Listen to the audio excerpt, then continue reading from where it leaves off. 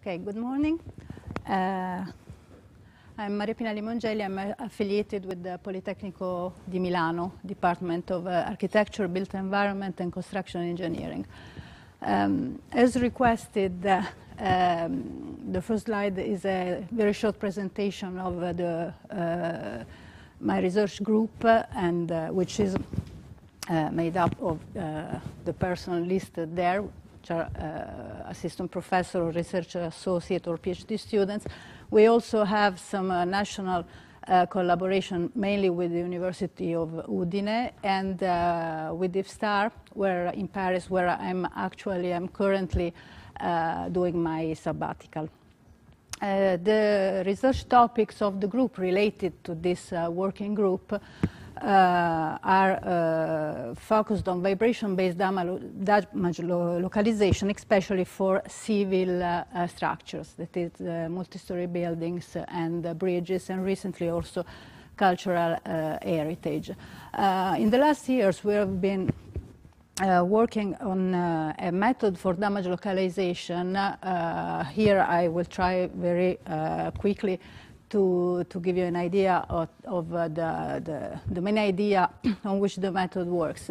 The idea is very simple and is that uh, uh a loss of stiffness, the, the, the method uh, detects losses of uh, stiffness, detects and localizes losses of stiffness.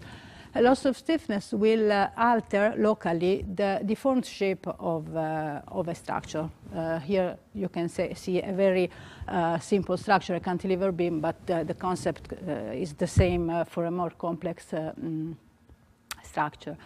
And this uh, uh, change in the uh, deformed shape of the structure will make the, the, shape irregular at the location of the stiffness loss.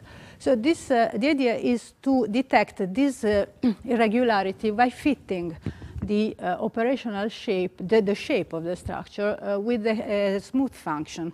We use the spline, a cubic spline function because uh, uh, it has a mathematical um, mathematical um, characteristic which, which, is called the Gibbs phenomenon, which makes um, um, the interpolation very uh, bad, close to a curvature, um, a curvature discontinuity. Since the loss of stiffness induces a, a discontinuity of curvature, the interpolation with, with the uh, spline function will become uh, as much worse, as much higher is the uh, stiffness loss. So we define the damage feature as the different, sorry, uh, out to point.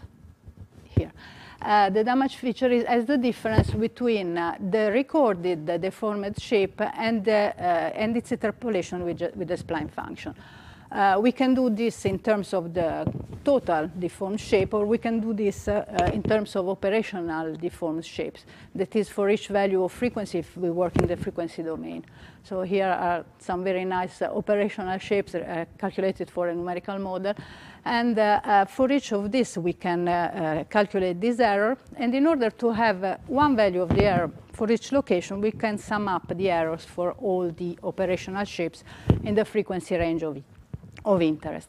So this is the basic idea of the method uh, and the, the, the, presentation of the damage feature. The problem is that, of course, this damage feature will exhibit variations even if there is no damage at all. And this is due to some uh, random sources, the usual random sources. So usually we may have uh, three situations. Yesterday someone talked about, uh, said that there are mainly three uh, types of monitoring, short, periodical, and long-term monitoring. Um, the, the main difference uh, in the application of uh, uh, methods like this is that uh, is in the volume of data that are available.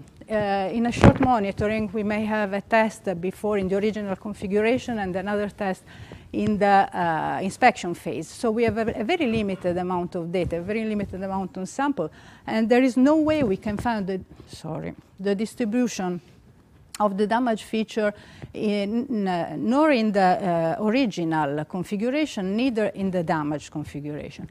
Uh, if we have a periodical monitor, we may hope to find the distribution of the um, of the damage feature in the original configuration, but not uh, in the uh, damage, in the inspection phase. Because in the inspection phase, for example, we have, uh, when we need a prompt alert after a catastrophic event, or even not catastrophic, an earthquake, for example, and we want to know if the structure is safe or not. We don't have the time, of course, to, uh, to uh, collect as many information as the one needed to um, find the, the distribution, probability distribution in the uh, damage configuration. So just we have just a value, and in that case we have to define a threshold and say, okay, the structure is damaged if the threshold is exceeded. But uh, what is this threshold? How can we fix this threshold? Uh, it would be nice to fix it uh, basing on a cost-benefit uh, analysis, but for most uh, civil structure, it's not uh, uh, quite easy to have a cost model to fix the threshold. And in our application, we just we just fixed a, an accepted probability of false alarm, the, which is the, the, the area here. If the the damage the damage feature exceeds this threshold, this means that the probability that uh, uh, we give a false alarm is very is very low, and we fixed the, the, the, the value of the probability of false alarm that we accept.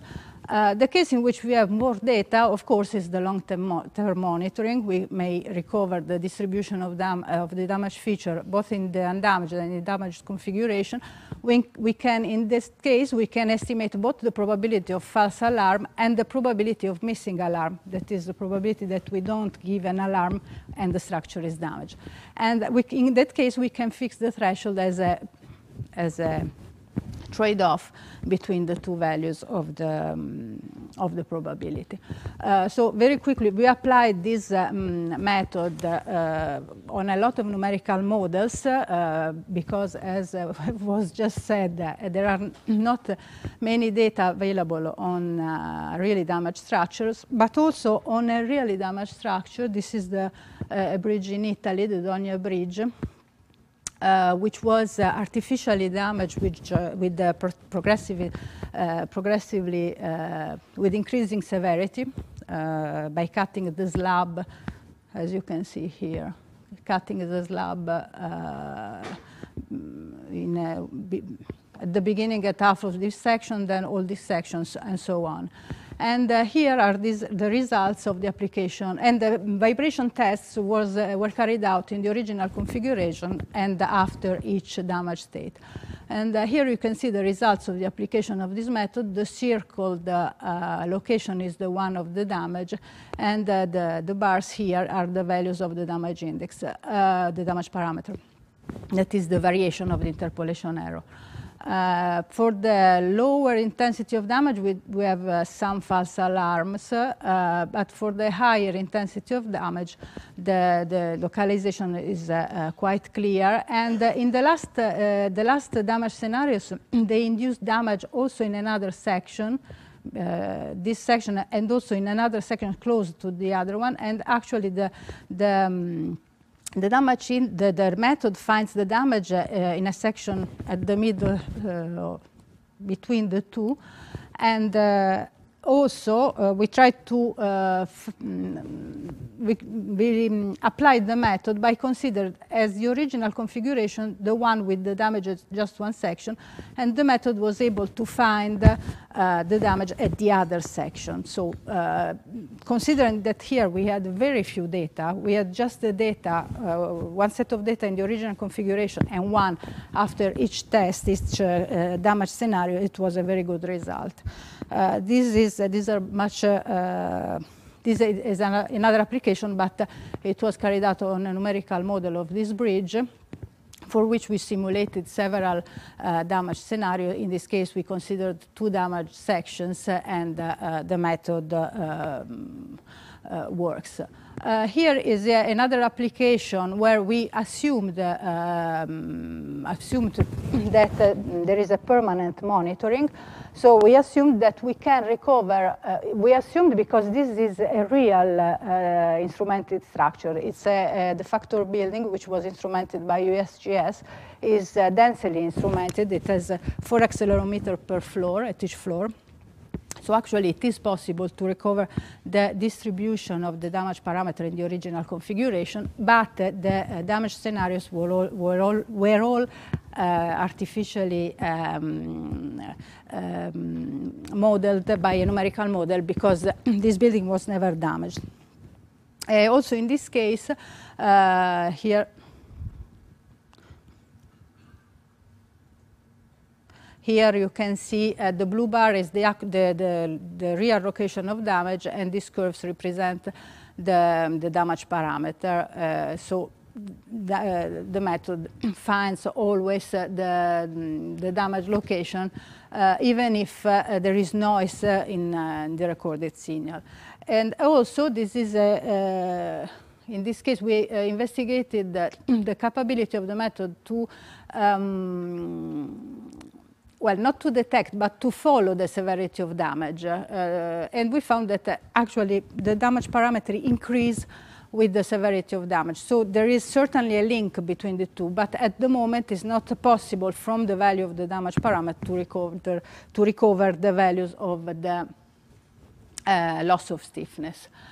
Uh, so the wish list. Yesterday, someone proposed to to to propose a wish list, and uh, I, I, borrowed immediately borrowed the idea because I, I, like it very much. So the the the first is actually not a wish but a, dream, I think, now because uh, uh what I uh, I think is really needed for all this uh, uh, method of damage detection, and this was uh, just said by Gert, are data a lot of data recorded on real uh, damaged structures because otherwise we will uh, continue to uh, check our models on uh, our methods on numerical models and uh, usually they, they, they work very well. Uh, they always work very well. The difficult thing is to, um, to let them work with real, with real um, structures. So the dream is to have a, a, a living lab a structure. Uh, of course, this is not a dream for this cost, uh, but can be uh, an idea for future networking. Yesterday, uh, Dr. Wenzel was saying, uh, we are here, we can propose something like that.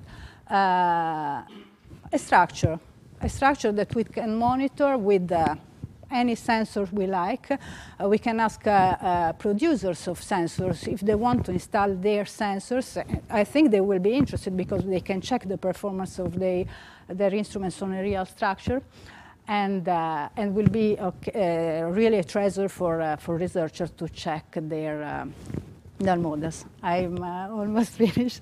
Uh, then uh, mm, another wish would be a cost model to define the threshold because one of the problem of the, the to, to define to say okay the structural damage one of the, the ingredient the main ingredient is the threshold which the, mm, has to come out from a cost benefit analysis.